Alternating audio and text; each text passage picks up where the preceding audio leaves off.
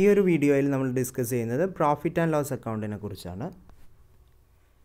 Income statement എന്ന് പറയുന്നത് രണ്ട് അക്കൗണ്ടുകളാണ് trading account profit and loss account trading അക്കൗണ്ടിനെ കുറിച്ച് ഓൾറെഡി നമ്മൾ ഡിസ്കസ് ചെയ്തു.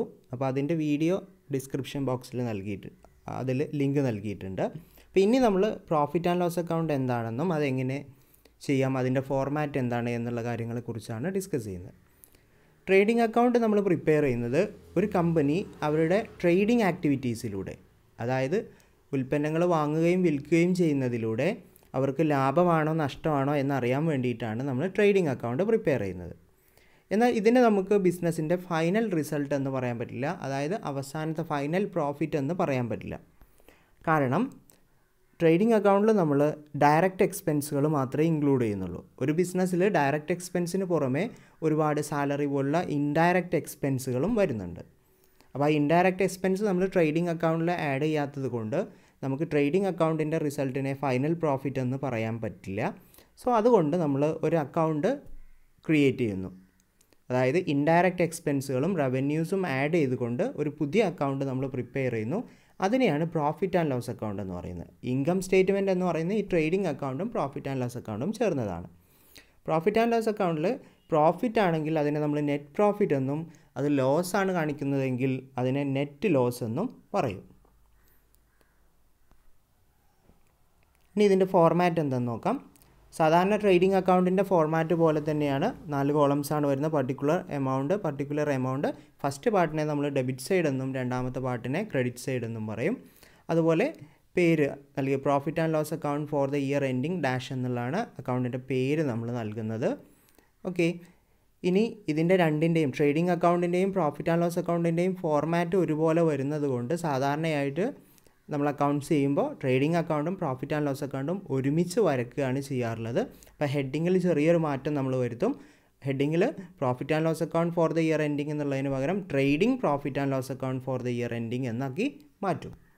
ഇനി ഇതിൽ വരുന്ന ഐറ്റംസ് എന്ന് പറയുന്നത് ഒന്ന് ഫസ്റ്റ് നമ്മൾ ആഡ് ചെയ്യേണ്ടത് ഗ്രോസ് പ്രോഫിറ്റോ ഗ്രോസ് ലോസോ ഉണ്ടെങ്കിൽ. അതായത് ട്രേഡിംഗ് അക്കൗണ്ടിൽ നമുക്ക് കിട്ടുന്ന ബാലൻസ് ഗ്രോസ് പ്രോഫിറ്റ് ആണെങ്കിൽ അത് ക്രെഡിറ്റ് സൈഡിൽ നിങ്ങളിവിടെ കാണുന്നുണ്ടായിരിക്കും ക്രെഡിറ്റ് സൈഡിൽ ഇനി ട്രേഡിംഗ് അക്കൗണ്ട് പ്രിപ്പയർ ചെയ്യുമ്പോൾ നമുക്ക് ഗ്രോസ് ലോസ് ആണ് ലഭിച്ചതെങ്കിൽ അത് ഡെബിറ്റ് സൈഡിലാണ് ആഡ് ചെയ്യുക. അപ്പോൾ ഇതിൽ രണ്ടിലും ഏതെങ്കിലും ഒന്നാണ് വരിക. ഒന്നുകിൽ ഗ്രോസ് പ്രോഫിറ്റ് വരും അതല്ലെങ്കിൽ ഗ്രോസ് ലോസ് വരും.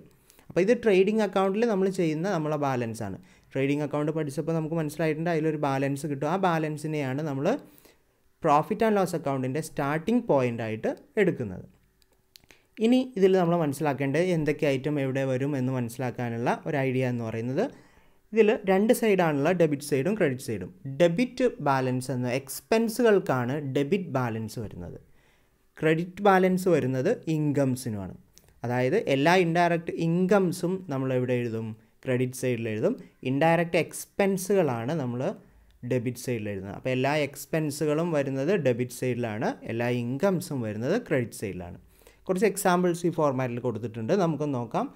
എക്സ്പെൻസുകൾക്ക് എക്സാമ്പിളായി salary rent rate and tax insurance premium advertising commission paid discount allowed bad ഡെപ്റ്റ് travelling expense bank charge interest on capital depreciation postage and telegram audit fees telephone expense legal charges loss by fire or theft അപ്പോൾ ഇങ്ങനെയുള്ള കാര്യങ്ങളൊക്കെയാണ് നമ്മൾ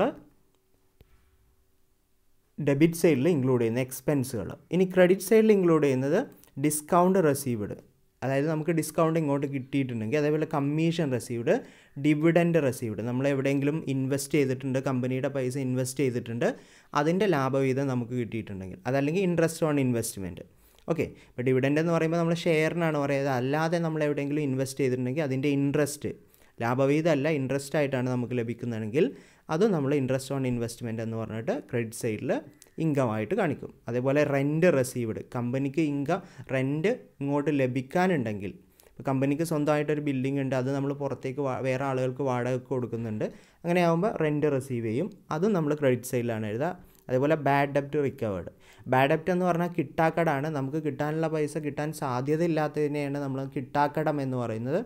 അത് recover ചെയ്യാം. ഇപ്പോൾ നമുക്ക് ഒരാൾ പൈസ തരാനുണ്ട്. നമ്മൾ ചിലപ്പോൾ അത് കിട്ടില്ല എന്ന് പറഞ്ഞ് ഒഴിവാക്കിയ പൈസ ചിലപ്പോൾ പിന്നീട് റിക്കവർ ചെയ്ത് നമുക്ക് തിരിച്ച് അയാൾ തരാറുണ്ട്. അത്തരം കേസിനെയാണ് ബാഡ് ഡെപ്റ്റ് റിക്കവേർഡ് എന്ന് പറയുന്നത്.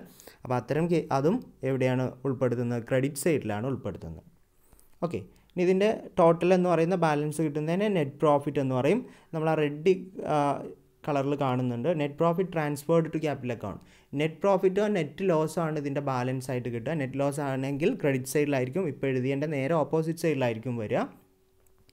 ആ നെറ്റ് പ്രോഫിറ്റിനെ നമ്മൾ കീപ്പ് ചെയ്യല്ല ചെയ്യുന്നത്? ക്യാപിറ്റൽ അക്കൗണ്ടിലേക്ക് ക്യാപിറ്റൽ അക്കൗണ്ട് വരയ്ക്കുമ്പോൾ അതിലേക്ക് ട്രാൻസ്ഫർ ചെയ്യുകയാണ് ചെയ്യുന്നത്. നമുക്ക് ക്യാപിറ്റൽ അക്കൗണ്ട് മറ്റൊരു വീഡിയോയിൽ പഠിക്കാം. ഇപ്പോൾ നിങ്ങൾ ഇത് മനസ്സിലാക്കുക. അപ്പോൾ നെറ്റ് പ്രോഫിറ്റിനെ നമ്മൾ ബാലൻസ് എന്ന് പറഞ്ഞ് എഴുതി വെക്കല്ല അത് ക്യാപിറ്റൽ അക്കൗണ്ടിലേക്കാണ് ട്രാൻസ്ഫർ ചെയ്യുക. നെറ്റ് ലോസ് ആണെങ്കിലും ക്യാപിറ്റൽ അക്കൗണ്ടിലേക്ക് ട്രാൻസ്ഫർ ചെയ്യും. ഇനി നമുക്കൊരു ക്വസ്റ്റ്യൻ നോക്കാം. എങ്ങനെയാണ് ഒരു profit and loss account prepare ചെയ്യുന്നത്? ഓക്കെ അപ്പോൾ ഒരു കുറച്ച് ഡീറ്റെയിൽസ് തന്നിട്ടുണ്ട് നമുക്ക്. മാർച്ച് മുപ്പത്തൊന്ന് രണ്ടായിരത്തി പതിനാലിലെ ഡീറ്റെയിൽസ് ആണ് തന്നിട്ടുള്ള gross profit sixty five thousand ആണ്. Salary eleven thousand five hundred പിന്നെ ഓഡിറ്റ് ഫീ തന്നിട്ടുണ്ട്. ഇൻഷുറൻസ് പ്രീമിയം തന്നിട്ടുണ്ട്. ഇൻട്രസ്റ്റ് റെസീവ്ഡ് ഡിസ്കൗണ്ട് ക്രെഡിറ്റ് എന്ന് പറഞ്ഞ് തന്നിട്ടുണ്ട്. അങ്ങനെ advertisement bad ഡെപ്റ്റ് discount allowed depreciation rent from tenants അപ്പോൾ നമുക്കറിയാം സ്റ്റാർട്ടിംഗ് പോയിന്റ് എന്ന് പറയുന്നത് ഗ്രോസ് പ്രോഫിറ്റ് ആണ്. ഗ്രോസ് പ്രോഫിറ്റ് ആകുമ്പോൾ അത് ഇൻകം ആണ് പ്രോഫിറ്റ് ഇൻകം ആണ്. അപ്പോൾ ക്രെഡിറ്റ് സൈഡിലാണ് എഴുതുന്നത്. ഓക്കെ അപ്പോൾ ഇവിടെ തുടക്കം നമ്മൾ ഗ്രോസ് പ്രോഫിറ്റ് ബ്രോഡൗൺ എന്ന് പറഞ്ഞിട്ട് അറുപത്തയ്യായിരം എഴുതിയിട്ടുണ്ട്. ഇനി ബാക്കിയുള്ള ഐറ്റംസ് നമുക്ക് ഈ ഒരു ക്വസ്റ്റ്യനിൽ നമുക്ക് ഡെബിറ്റും ക്രെഡിറ്റും ക്വസ്റ്റ്യനിൽ തന്നെ ഒരു ട്രയൽ ബാലൻസ് മോഡലാണ് ക്വസ്റ്റ്യൻ തന്നത് എന്നുള്ളത് കൊണ്ട് നമുക്ക് എളുപ്പത്തിൽ മനസ്സിലാക്കാൻ പറ്റും. ഇൻകം നമ്മൾ ഓൾറെഡി ഡിസ്കസ് ചെയ്തു. ഇൻകംസിനെല്ലാം ക്രെഡിറ്റ് ബാലൻസ് ആണ് വരുന്നത്. ബാക്കിയുള്ള എക്സ്പെൻസുകൾക്കെല്ലാം ഡെബിറ്റ് ബാലൻസും ആണ് അപ്പം അങ്ങനെ നമ്മൾ മനസ്സിലാക്കി കഴിഞ്ഞാൽ ഇവിടെ എളുപ്പമാണ് ഈ ക്വസ്റ്റ്യൻ ചെയ്യാൻ. കാരണം ഡെബിറ്റ് സൈഡിലുള്ളതെല്ലാം എന്തായിരിക്കും? അപ്പോൾ ആ രണ്ട് ഐറ്റംസ് ഡെബിറ്റ് ക്രെഡിറ്റ് ബാലൻസ് എന്ന് പറഞ്ഞ രണ്ട് കോളുണ്ട്. അപ്പോൾ ഡെബിറ്റ് ബാലൻസിൽ എമൗണ്ട് വരുന്ന എല്ലാ കാര്യങ്ങളും എക്സ്പെൻസ് ആയിരിക്കും. ക്രെഡിറ്റ് ബാലൻസിൽ എമൗണ്ട് വരുന്ന എല്ലാ കാര്യംസും കാര്യങ്ങളും ഇൻകോ ആയിരിക്കും. ഓക്കെ? അപ്പോൾ ഇവിടെ സാലറി എന്ന് പറയുന്ന എക്സ്പെൻസ് ആണ് ഇനി അല്ലാതെയും നമുക്ക് ഇനിയിപ്പോൾ ഇത് കണ്ടിന്യൂസ് ആയിട്ടാണ് തന്നിട്ടുള്ളതെങ്കിൽ നമുക്ക് ഓരോന്നും വായിച്ച് നോക്കിയിട്ട് മനസ്സിലാക്കിയെടുക്കാവുന്നതേ ഉള്ളൂ. ഇപ്പോൾ സാലറി എന്ന് പറഞ്ഞാൽ നമുക്കറിയാം എക്സ്പെൻസ് ആണ് ഓഡിറ്റ് ഫീ എക്സ്പെൻസ് ആണ് ഇൻഷുറൻസ് പ്രീമിയം എന്ന് പറയുന്ന എക്സ്പെൻസ് ആണ് ഇൻട്രസ്റ്റ് റിസീവ്ഡ് ആണ് അപ്പോൾ ഇൻകം ആണ്. ഡിസ്കൗണ്ട് അവിടെ ക്രെഡിറ്റ് എന്നേ കൊടുത്തിട്ടുള്ളൂ. ഡിസ്കൗണ്ട് ക്രെഡിറ്റ് എന്ന് അവിടെ കൊടുത്താലും നമുക്ക് മനസ്സിലാക്കാം. കാരണം ഞാൻ ഓൾറെഡി പറഞ്ഞു ക്രെഡിറ്റ് എന്ന് പറയുമ്പോൾ ഇൻകംസിനാണ് ഇൻകത്തിനാണ് എന്ത് ചെയ്യുന്നത് ക്രെഡിറ്റ് ബാലൻസ് വരുന്നത്. ഇനി അവിടെ ഡിസ്കൗണ്ട് ഡെബിറ്റ് ആണ് എങ്കിൽ നമ്മൾ എന്ത് മനസ്സിലാക്കണം? ഡിസ്കൗണ്ട് പെയ്ഡ് ആണ് എന്നുള്ളത് അലൗഡ് ആണ് എന്നുള്ളത് മനസ്സിലാക്കണം. അഡ്വർടൈസ്മെന്റ് എക്സ്പെൻസ് ആണ് ബാഡ് ഡെറ്റ് എക്സ്പെൻസ് ആണ് ഡിസ്കൗണ്ട് അലൗഡ് എക്സ്പെൻസ് ആണ് ഡിപ്രീസിയേഷൻ എക്സ്പെൻസ് ആണ് എക്സ്പെൻസ് ആണ് റെന്റ് ഫ്രം ടെനൻസ് അതായത് റെന്റ് റെസീവ്ഡ് ആണ്. റെന്റ് ഫ്രം ടെനന്റ് എന്ന് പറഞ്ഞാൽ റെന്റ് റെസീവ്ഡ് ആണ് അത് ഇൻകം ആണ്. അപ്പോൾ ഇത്തരം കാര്യങ്ങൾ നമുക്ക് എക്സ്പെൻസ് ഏതൊക്കെയാണെന്ന് അറിയാം ഇൻകം ഏതൊക്കെയാണെന്ന് അറിയാം. സ്റ്റാർട്ടിംഗ് പോയിന്റ് ആയിട്ട് നമ്മൾ ഗ്രോസ് പ്രോഫിറ്റ് കൊടുക്കുന്നു. ബാക്കിയുള്ള കാര്യങ്ങളൊക്കെ ഇതിലേക്ക് എടുത്ത് എഴുതി interest received discount received rent from tenant ബാക്കിയുള്ള എക്സ്പെൻസുകളും എടുത്ത് എഴുതി. ഇങ്ങനെ ചെയ്ത് കഴിഞ്ഞാൽ നെക്സ്റ്റ് സ്റ്റെപ്പ് എന്ന് പറയുന്നത് രണ്ട് സൈഡും ടോട്ടൽ ചെയ്യുക. ഡെബിറ്റ് സൈഡ് ടോട്ടൽ ചെയ്യണം ക്രെഡിറ്റ് സൈഡും ടോട്ടൽ ചെയ്യണം. ഓക്കെ ഡെബിറ്റ് സൈഡ് ടോട്ടൽ ചെയ്യുന്നു. അപ്പോൾ ഞാൻ അവിടെയുള്ള പതിനൊന്ന് അഞ്ഞൂറ് നാനൂറ് എണ്ണൂറ് ആയിരത്തി ഇരുന്നൂറ് എക്സെട്ര ഇങ്ങനെയുള്ള എമൗണ്ടുകൾ ടോട്ടൽ ചെയ്തു. അപ്പോൾ എനിക്ക് കിട്ടിയത് പതിനാലായിരത്തി എണ്ണൂറ്റി അമ്പത് രൂപയാണ് കിട്ടിയിട്ടുള്ളത്. അതായത് ഡെബിറ്റ് സൈഡ് ടോട്ടൽ ചെയ്യുമ്പോൾ fourteen thousand eight hundred and fifty റുപ്പീസാണ് ലഭിച്ചിട്ടുള്ളത്. ഞാൻ അതുപോലെ തന്നെ ക്രെഡിറ്റ് സൈഡും ടോട്ടൽ ചെയ്യാൻ പോവാണ്. അത് ടോട്ടൽ ചെയ്തപ്പോൾ എനിക്ക് കിട്ടിയിട്ടുള്ളത് sixty eight thousand eight hundred and sixty അറുപത്തി എട്ടായിരത്തി എണ്ണൂറ്റി അറുപത് രൂപയാണ് കിട്ടിയിട്ടുള്ളത്. അപ്പോൾ ഇങ്ങനെ ഫസ്റ്റ് സ്റ്റെപ്പ് ടോട്ടൽ ചെയ്യുന്നതിന്റെ സ്റ്റെപ്പ് എന്ന് പറയുന്നത് ആദ്യം ഡെബിറ്റ് സൈഡ് ടോട്ടൽ ചെയ്യുക ദെൻ ക്രെഡിറ്റ് സൈഡ് ടോട്ടൽ ചെയ്യുക. അപ്പോൾ രണ്ട് എമൗണ്ട് കിട്ടി. ഞാൻ അവിടെ ഒരു ക്രോസിൽ ഒരു കോളത്തിലാക്കി അവിടെ കൊടുത്തിട്ടുണ്ട്. അത് അക്കൗണ്ടിൽ വരേണ്ട കാര്യമല്ല. നിങ്ങൾ ഒരാൾ അക്കൗണ്ട് വരയ്ക്കുമ്പോൾ ഈ പതിനാല് എണ്ണൂറ്റൻപത് അല്ലെങ്കിൽ അറുപത്തി എട്ട് എണ്ണൂറ്റി അറുപത് ഞാൻ അവിടെ ഒരു കോളത്തിലാക്കി എഴുതിയിട്ടുണ്ട്. അതൊരിക്കലും അക്കൗണ്ടിന്റെ ഉള്ളിൽ എഴുതരുത്. നിങ്ങൾക്ക് മനസ്സിലാവാൻ വേണ്ടിയിട്ടാണ് ഈ ഒരു വീഡിയോയിൽ അത് ചേർത്തിട്ടുള്ളത്. ഓക്കെ അപ്പോൾ ഇതിൽ രണ്ട് സംഖ്യകൾ കിട്ടി. ഇതിൽ വലിയ സംഖ്യ നിങ്ങൾ ടോട്ടലായിട്ട് എടുക്കാം. അതായത് അറുപത്തി എട്ടായിരത്തി എണ്ണൂറ്റി അറുപതാണ് വലിയ സംഖ്യ എന്നുള്ളത് നമുക്ക് മനസ്സിലാക്കാം. അതായത് ക്രെഡിറ്റ് സൈഡിന്റെ ടോട്ടലാണ് വലിയ സംഖ്യ. അതിനെ രണ്ട് ഭാഗത്തും ടോട്ടലായിട്ട് എഴുതുകയാണ് നമ്മൾ ചെയ്യുന്നത്. അതിനുശേഷം നമുക്ക് ആ വലിയ സംഖ്യ എന്ന് ചെറിയ സംഖ്യ അതായത് വലിയ സംഖ്യ ഉള്ളത് ക്രെഡിറ്റ് സൈഡിലാണ് അപ്പോൾ ക്രെഡിറ്റ് സൈഡിലെ സംഖ്യയിൽ നിന്ന് അറുപത്തെട്ടായിരത്തി എണ്ണൂറ്റി അറുപതിൽ നിന്ന് ഡെബിറ്റ് സൈഡിലെ പതിനാലായിരത്തി എണ്ണൂറ്റി അൻപത് കുറക്കുകയാണ് ചെയ്യേണ്ടത്. ഓക്കെ അപ്പോൾ ഡെബിറ്റ് ക്രെഡിറ്റ് സൈഡിലെ ടോട്ടൽ സംഖ്യയിൽ നിന്ന് ഡെബിറ്റ് സൈഡിലെ ടോട്ടൽ സംഖ്യ കുറച്ചു. അങ്ങനെ നമുക്കൊരു ബാലൻസ് കിട്ടി അൻപത്തിനാലായിരത്തി പത്ത് രൂപ. അത് നമ്മൾ ഡെബിറ്റ് സൈഡിൽ കുറവുള്ള ഭാഗത്ത് എഴുതി അതിന് നമ്മൾ നെറ്റ് പ്രോഫിറ്റ് എന്ന പേര് കൊടുത്തു. Net profit transferred to capital account അപ്പോൾ ഈ ഒരു ക്വസ്റ്റ്യൻ വെച്ചിട്ട് നമുക്ക് നെറ്റ് പ്രോഫിറ്റ് ക്യാപിറ്റൽ അക്കൗണ്ടിലേക്ക് ട്രാൻസ്ഫർ ചെയ്യേണ്ട നെറ്റ് പ്രോഫിറ്റ് എന്ന് പറയുന്നത് അൻപത്തി നാലായിരത്തി പത്ത് രൂപയാണ്. നമുക്ക് മറ്റൊരു ക്വസ്റ്റ്യൻ ഇവിടെ കൊടുത്തിട്ടുണ്ട്. ആ ക്വസ്റ്റ്യൻ നമുക്ക് നോക്കാം. ഓക്കെ ഇതുപോലെ പ്രോഫിറ്റ് ആൻഡ് ലോസ് അക്കൗണ്ട് ഉണ്ടാക്കാനാണ്. അപ്പം നിങ്ങൾ സ്വന്തമായിട്ടൊന്ന് ചെയ്ത് നോക്കുക. ഇതിന്റെ ആൻസർ ഫൈനൽ ആൻസർ മാത്രമേ ഞാൻ ഈ ക്വസ്റ്റ്യനിൽ ഈ ഒരു വീഡിയോയിൽ ഉൾപ്പെടുത്തിയിട്ടുള്ളൂ. അത് എങ്ങനെയാണ് ചെയ്യുന്നത് എന്നുള്ളത് ഞാൻ ഡിസ്ക നമുക്ക് ഡിസ്കസ് ചെയ്യാം.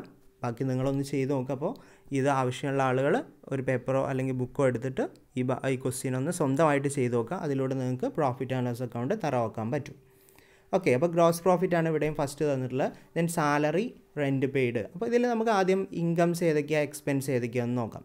ഗ്രോസ് പ്രോഫിറ്റ് എന്ന് പറയുന്നത് നമുക്കറിയാം ക്രെഡിറ്റ് സൈഡിലാണ് ഗ്രോസ് പ്രോഫിറ്റ് ആണ്. അപ്പോൾ സ്റ്റാർട്ടിംഗ് പോയിന്റ് ഗ്രോസ് ക്രെഡിറ്റ് സൈഡിലാണ് ദെൻ സാലറി എന്ന് പറയുന്നത് ഒരു എക്സ്പെൻസ് ആണ്. സാലറി എക്സ്പെൻസ് ആയതുകൊണ്ട് തന്നെ അത് ഡെബിറ്റ് സൈഡിലാണ് എഴുതുന്നത്. അതേപോലെ റെന്റ് പെയ്ഡ് എക്സ്പെൻസ് ആണ്. സോ അത് ഡെബിറ്റ് സൈഡിൽ എഴുതുന്നു. ഡിസ്കൗണ്ട് അലൗഡ് അലൗഡ് ആണ്. അപ്പോൾ അത് എക്സ്പെൻസ് ആണ്. ഡെബിറ്റ് സൈഡിൽ എഴുതുന്നു. ഇൻട്രസ്റ്റ് ഓൺ ഇൻവെസ്റ്റ്മെന്റ് എന്ന് പറയുന്നത് ഇൻകം ആണ്. ഓക്കെ നമുക്ക് ഇൻവെസ്റ്റ് നമ്മൾ ഇൻവെസ്റ്റ് ചെയ്തതിന്റെ ഇൻട്രസ്റ്റ് നമുക്ക് ലഭിക്കുകയാണ് ഇൻകം ആണ്. അപ്പോൾ ക്രെഡിറ്റ് സൈഡിൽ എഴുതണം. അഡ്വർടൈസ്മെന്റ് ട്രേഡിംഗ് എക്സ്പെൻസ് ബാഡ് ഡെപ്റ്റ് ഇത് മൂന്നും ഡിപ്രീസിയേഷൻ ഇൻഷുറൻസ് പ്രീമിയം അതുവരെയുള്ള അഡ്വർടൈസ്മെന്റ് മുതലുള്ള ഇൻഷുറൻസ് പ്രീമിയം വരെയുള്ള എല്ലാ കാര്യങ്ങളും എക്സ്പെൻസിൽ വരുന്നതാണ്. അപ്പോൾ അതെല്ലാം ഡെബിറ്റ് സൈഡിലാണ് എഴുതേണ്ടത്. ദെൻ ലാസ്റ്റ് കമ്മീഷൻ റെസീവ്ഡ് ആണ്. നമുക്ക് കമ്മീഷൻ ഇങ്ങോട്ട് കിട്ടുകയാണ് അത് ഇൻകം ആണ് ക്രെഡിറ്റ് സെയിലാണ് അപ്പോൾ ഇത്രയും കാര്യങ്ങൾ നിങ്ങൾ ഡെബിറ്റ് സെയിലും ക്രെഡിറ്റ് സെയിലും എഴുതുക. എന്നിട്ട് നിങ്ങൾ ടോട്ടൽ രണ്ട് സൈഡും ടോട്ടൽ ചെയ്യുക. അതിന്റെ ബാലൻസ് കണ്ടെത്തുക. അപ്പോൾ നെറ്റ് പ്രോഫിറ്റ് നിങ്ങൾക്ക് കിട്ടുന്നത് ഫിഫ്റ്റി ഫൈവ് തൗസൻഡ് ആയിരിക്കും. ഇനി അതല്ല നിങ്ങൾക്ക് കിട്ടിയതുണ്ടെങ്കിൽ കിട്ടിയതെങ്കിൽ നിങ്ങൾ ഈ വീഡിയോയുടെ താഴെ കമന്റ് ചെയ്യുക. നിങ്ങൾക്ക് ഡൗട്ടുകൾ എന്തെങ്കിലും ഉണ്ടെങ്കിൽ അതും വീഡിയോയുടെ താഴെ കമന്റ് ചെയ്യുക. ഓക്കെ താങ്ക് നിങ്ങൾ ഈ ചാനൽ സബ്സ്ക്രൈബ് ചെയ്തിട്ടില്ലെങ്കിൽ നിങ്ങൾക്ക് ഇതുപോലുള്ള വീഡിയോസ് ലഭിക്കാൻ വേണ്ടി ഈ ചാനലൊന്ന് സബ്സ്ക്രൈബ് ചെയ്യുക.